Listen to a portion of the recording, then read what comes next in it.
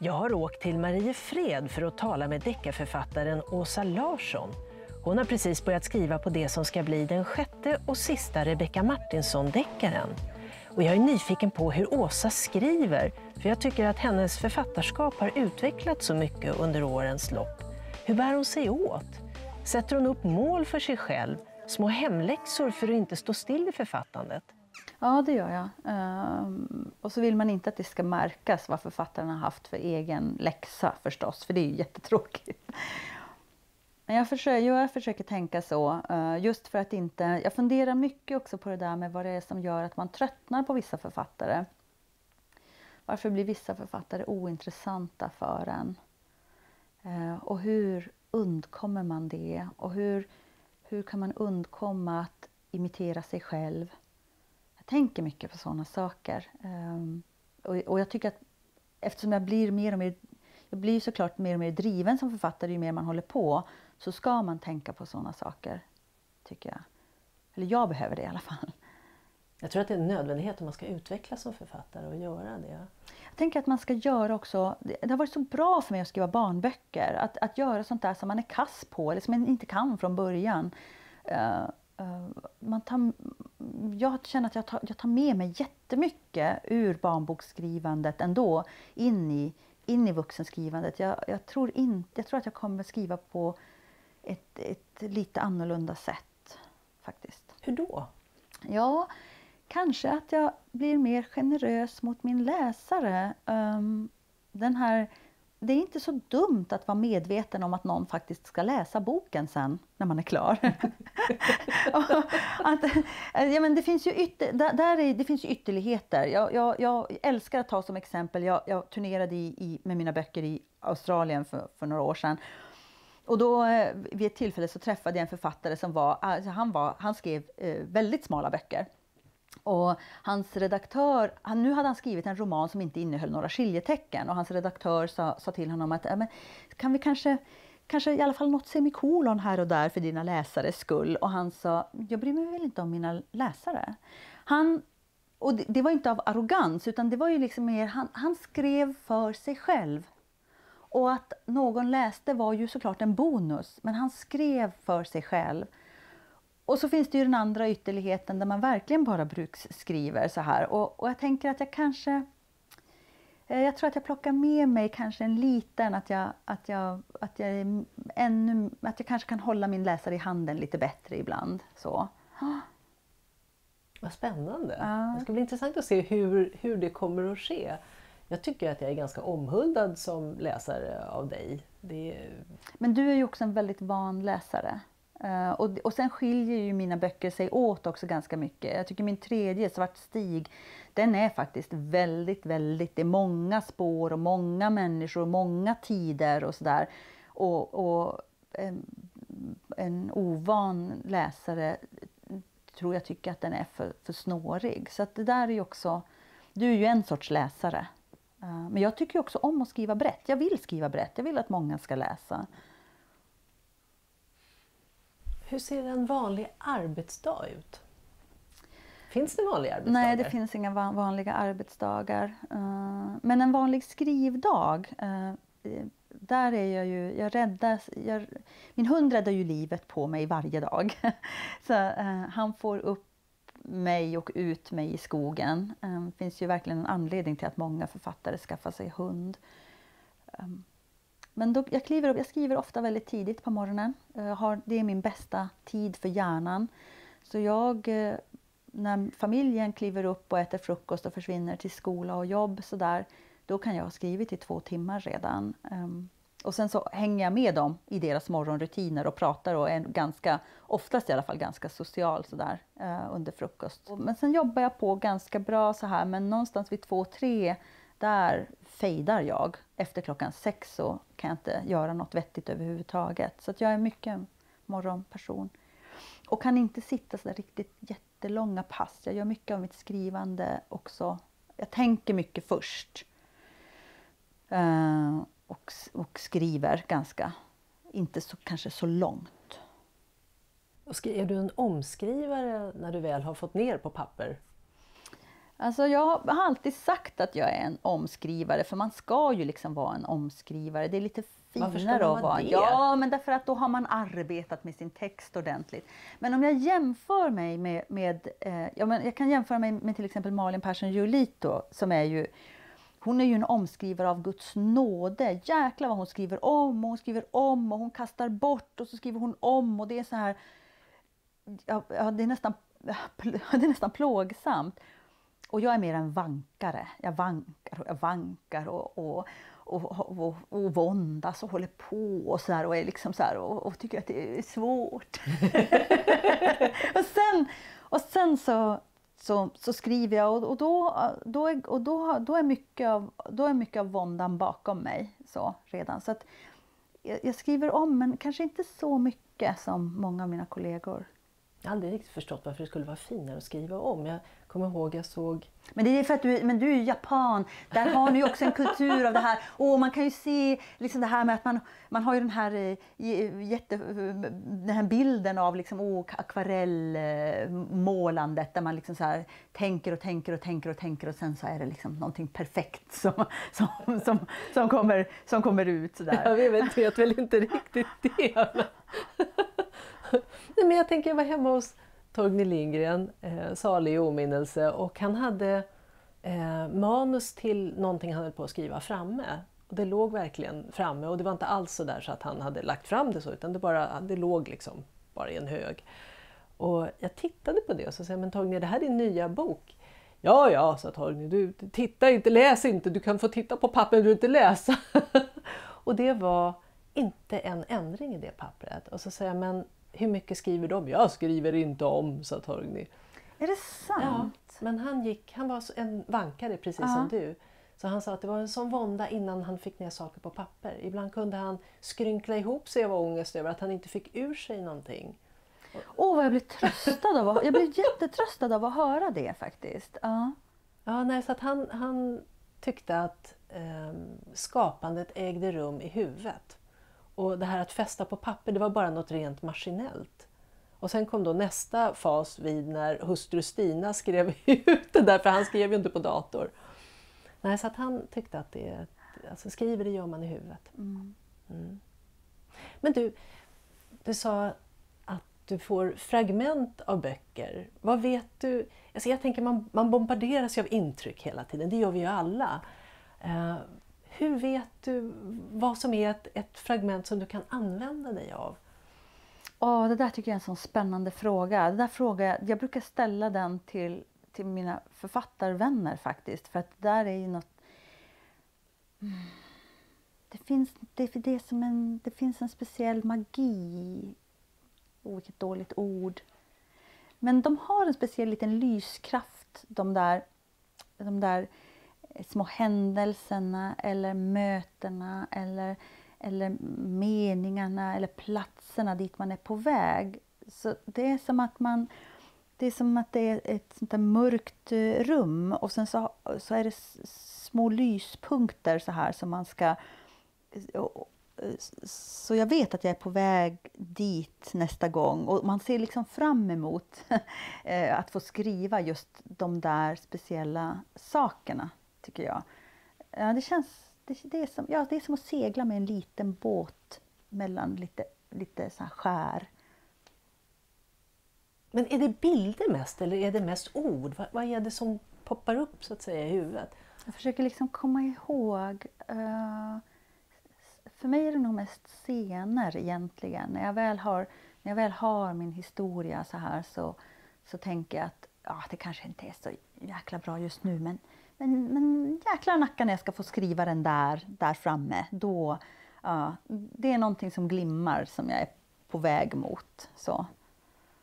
Men då är det en, en scen som du tänker dig eller det är, ehm, är det en person? Eller? Ja, men det kan nog vara lite olika. Och, och, så, har, och så har de där scenerna eller person, personerna, de har någon sorts känslomässig eh, tyngd inuti mig. Och Och, ja, de, de glimmar lite grann sådär. Jag brukar alltid säga att oskrivet är alltid bäst. För oh, de glimmar och glimmar och glimmar. Och sen så kommer de ner på pappret och så blir de liksom bara så liksom lite grå. men, men då har man ändå, så, men då är man på väg mot nästa. Liksom. Så att, ja. Jag tycker det är så fascinerande just hur, hur kreativ process funkar. Vad är det mm. som får igång någon att skriva. Men det tar ju emot att skriva, det tycker nog alla som skriver tror jag. Men just det där, vad är det som får en att känna att men jag vill ändå och det här och där och som du sa, då, de här små lyspunkterna. Att sträva fram emot dem. Hur, vad, vad händer i huvudet när man strävar fram emot den där punkten?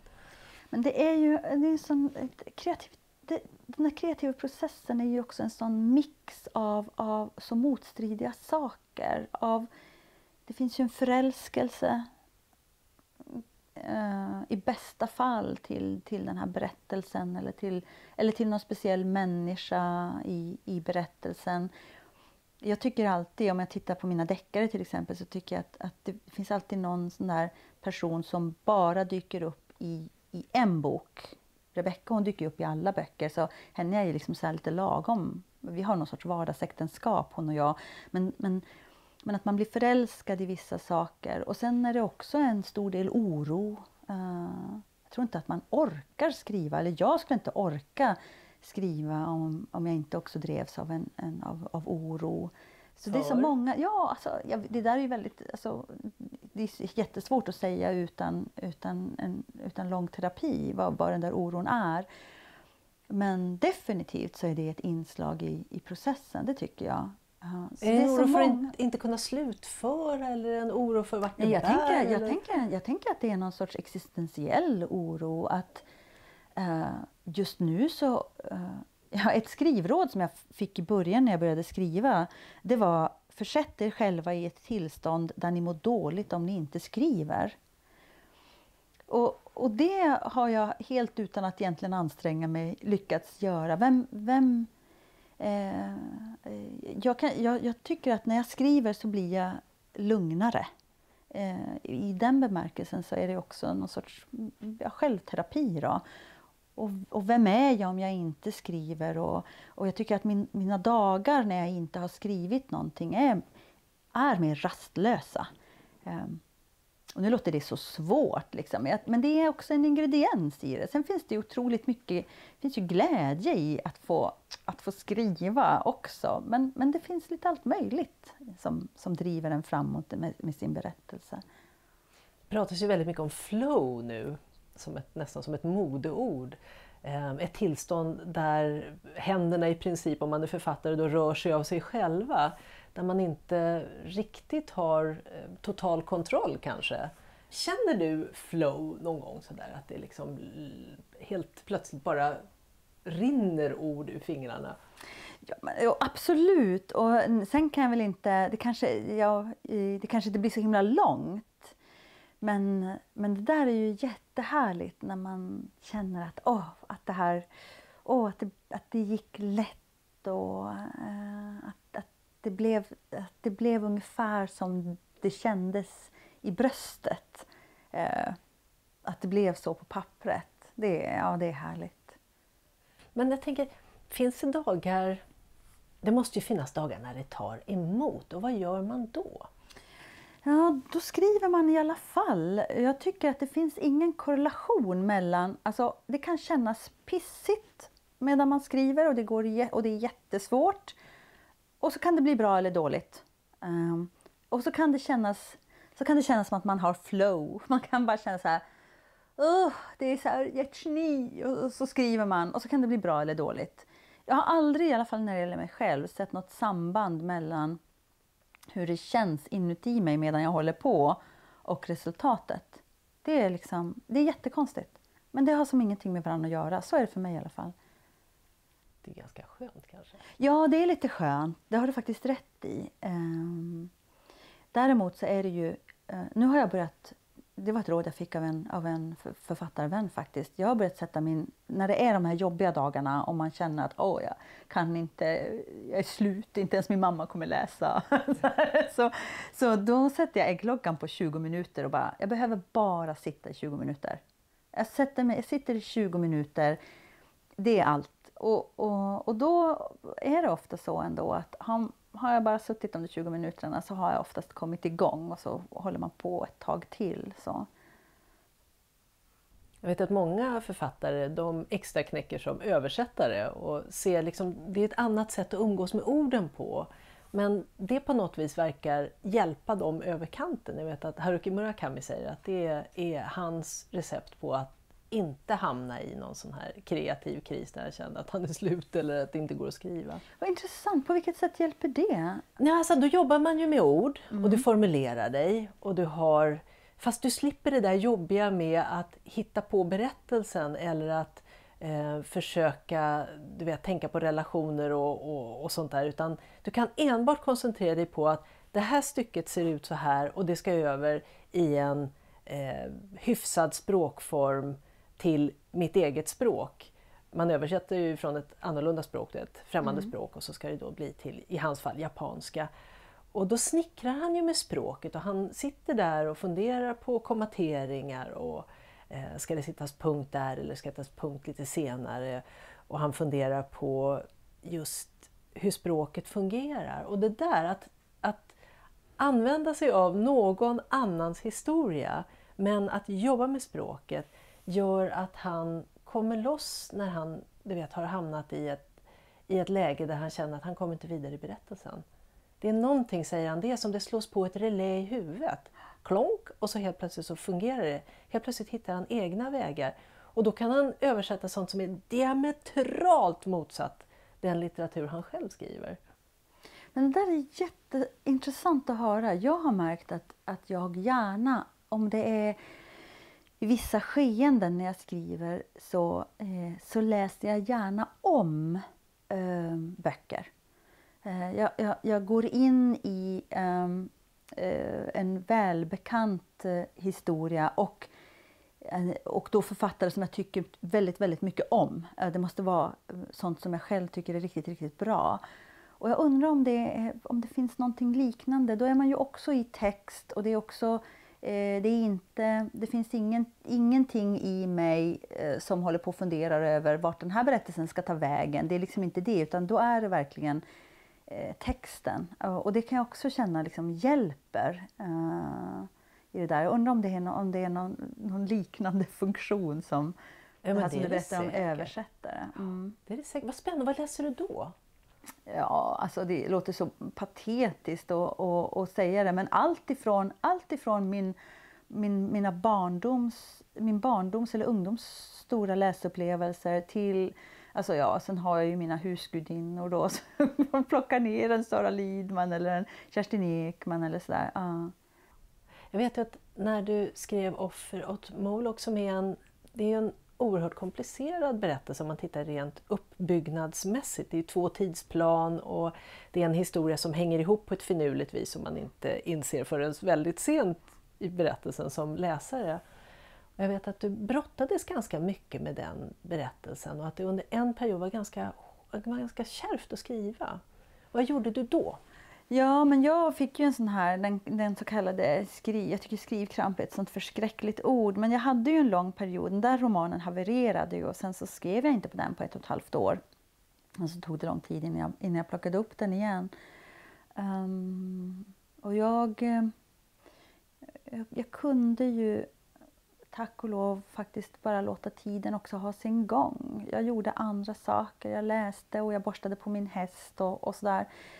Men sen när, när, när jag någonstans kände att, att min hjärna orkade igen, jag, jag var inte säker på att jag någonsin skulle kunna skriva igen då. Och det, det var väl den tunga saken med det, att faktiskt någonstans försöka kapsla in och leva med den där rädslan att att jag kanske måste bli skattejurist igen.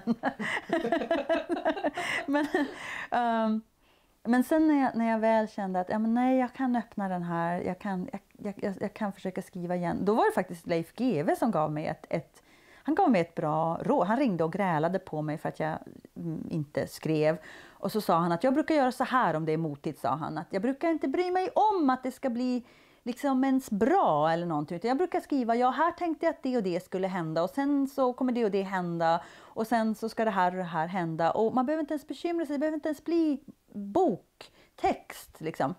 Men sa han att plötsligt så kan det bli så att då har man ändå skrivit en replik och så kanske det är någon som svarar på den där repliken och, och så har man kanske en liten dialog där och ja, så har det plötsligt blivit lite, lite bok. Och det där, eh, det låter ju så, det låter som så, det låter så enkelt. Eh, men, men det där gjorde jag och det, det hjälpte där i början också. Att det kanske hjälper mot den där, det där starka kravet att det måste... För jag, jag led ju så av att jag tyckte att det blev så sugigt. Att det blev så dåligt. Och jag, det blev heller inte. Jag, jag, jag kunde inte skriva under de där ett och ett halvt åren. När jag försökte så blev det väldigt grått. Det blev ju en fantastisk roman Ja, till slut. Men. Ja. nej, men det är verkligen en, det är ett stort kliv framåt i författarskapet. Det är en väldigt komplex roman. Så att jag förstår att du hade problem med att skriva den men det kom ju ut på, en väldigt, på ett väldigt bra sätt när det väl blev roman av det. Men jag förstår att det måste ha varit svårt. Ja, jag tror, jag tror att det var, min, det var liksom en... Uh, det var inte bara skriva. Mitt liv var sånt just då också. Så, att, så att det, var, det var svårt för mig att skriva. Um, jag är otroligt tacksam över att, över att den ofrivilliga pausen kom då. Därför att då hade jag massa bokbebisar som hade flugit ut i världen och kunde försörja sin mamma under tiden. Så jag kunde unna mig den här pausen eh, och hade råd att göra det. Det var otroligt värdefullt för mig. Och lyxigt och verkligen någonting som jag förstår att inte alla människor kan. Eh, men jag kunde. De här bokbebisarna som nu har flugit ut i världen och gjort sin mamma världsberömd. Eh, hur, hur känns det? Jag menar, att skriva en bok är ju en sak, men sen kommer ju ett helt PR-maskineri igång och man, blir, man förväntas vara ute och prata. Och som vår tid nu är så måste man ju vara ganska medial också. Du måste ställa upp på en massa boklanseringar och du måste sitta i TV och prata om dina böcker. Du måste vara ute och prata om dina böcker. Det är ju en hel del av ens liv som blir författarskap som inte har med själva författandet att göra utan att, att representera sig själv. Hur känns det då? Det känns både och tycker jag. Jag är ju en, eh, bara, det inte, bara det inte kantrar över för mycket. För då blir det, då blir det tungt. Eh, men jag kan tänka att det är lite sorgligt att, att författandet inte är, längre är en syssla för, för introverta människor. För vissa personer eh, passar det faktiskt inte alls att vara ute eller att vara på sociala medier och sådär. Och jag tänker att det måste finnas massa fantastiska författare bland, bland den sortens folk. Och det kan ju göra en lite nedstämd att, att tänka på. Men för min egen del så tänker jag att, att, ja men jag säger igen, så länge det inte kantrar över utan att man kan hålla någorlunda liksom styr på det där och, och vara både och så, så tycker jag att det, det går bra. Och vad säger du till en person som vill börja skriva? Vad ger du för råd? Alltså det beror Vad ska grann man på, tänka på? Ja, vad ska man tänka på när man börjar skriva? Eh, ja, det, en, det var ju en stor fråga. Ja. Eh, Men om du ska försöka besvara? mm, eh, att, att inte ställa krav på sin berättelse i, på det sättet att att förvänta sig att berättelsen ska ge dig någonting utöver att du får berätta den. Mm. Att inte kräva av berättelsen att den ska börja försörja dig. Eh, att kanske eh, fundera över att, att det här med att man kanske i början, det första man skriver, att kanske skriva om någonting som, som ligger nära. Eh, vare sig det är Lovikkavantar uppe i Lainio eller vad, vad det nu är som är. Att, så att, att, att, att, att, att skriva just sin... Jag tror särskilt när man debuterar, skriver sitt första, att skriva det där som, är, som ligger nära, nära en själv. Eh, att, och sen brukar jag dela med mig av det bästa skrivråd jag någonsin själv har fått. Eh, var modig. Och vad det där är att vara modig, det vet man bara själv. Det är olika för olika personer och det växlar för en själv också i olika faser i, i, i författarlivet. För dig just nu i författarlivet, vad innebär det att vara modig? Uh, att våga släppa Rebecka Martinsson till exempel, som är väldigt framgång, en framgångsrik serie. Um, det är ett slags mod. Mm. Nu vet jag att nu ska, ju, ska du ju först skriva sista delen mm. av Rebecka Martinsson-serien. Men det är ju ändå ett beslut att det är, det är sista delen. Sen, sen uh, mm, ja, uh, ingen aning. Uh, jag tycker att jag är ganska modig som, som inte binder mig till någonting just nu. Att jag vet att nu ska jag skriva den sista Rebecka Martinsson-romanen och sen håller jag fast vid att efter det vet jag inte. Och lovar inte bort mig heller till någonting annat. Utan ja, det får bli någonting där framme och den, det osäkra havet som är där ute. Och liksom, eh, eh att leva med det är ju både välsignat men också kräver lite mod, i alla fall från mig. Jag tycker om trygghet. Jag tänker också att det, det är ju som att umgås tänker jag med två väldigt nära vänner. Du har Rebecka Martinsson och Anna Maria Mella som du ju faktiskt har haft genomgående i din serie som är ju två väldigt starka karaktärer och två härliga karaktärer att umgås med. De har båda sina Eh, sina sidor men det är ju två fantastiska kvinnor. Känns det inte lite svårt att lämna dem känner jag? Jo, men det gör det faktiskt. Sen så kan jag också känna att det blir svårare för mig att hitta tillbaka till min egen Rebecka Martinsson och min egen Anna Maria Mella därför att eh, nu har det blivit tv-serie på mina böcker och Eh, Eva Melander och Ida Engvall som spelar de här kvinnorna är så sjukt duktiga skådespelerskor. De, de är så bra eh, så att de, det gör ju att de har flyttat in i mitt huvud. Och då kan jag känna lite grann att ja, jag kommer vara tvungen att försöka hm, mota undan men bildmediet är så starkt eh, så att även, även jag som, som, har, som, har uppfunnit dem, de har liksom flyttat in Eh, och, då, och, och, då tänker jag också så att då, eh, det finns... Eh, ja, jag kommer känna mig ledsen över att säga hejdå till dem men jag kan också känna att det verkligen är dags. På så många, av så många skäl. Tusen tack!